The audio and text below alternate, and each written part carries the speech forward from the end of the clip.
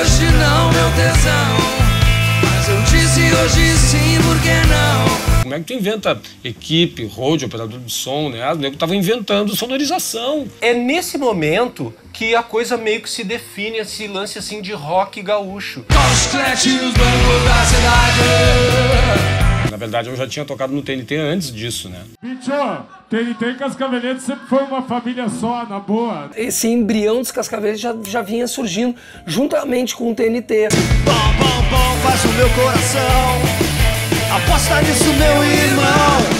A música, lá pelas tantas, se transformou em tudo pra mim. Foi uma experiência muito legal e pra mim, óbvio, foi uma transformação, porque em certo momento eu até me beliscava. E eu me lembro de, pô, ver os caras daquele palco enorme, com uma luz em cima, uma sonzeira no peito, e dizer, bah, olha meus parceiros ali. Já fumei no espaço. Nós praticamente lotamos o bar e o projeto se mostrou que era viável. A gente consegue dar uma, uma ideia de, do, do que era feito há 25 anos atrás. Toda essa galera fez, construiu esse repertório aí, né? Apesar de o time que tá tocando serem esses quatro aqui. As pessoas ainda querem ouvir aquelas músicas.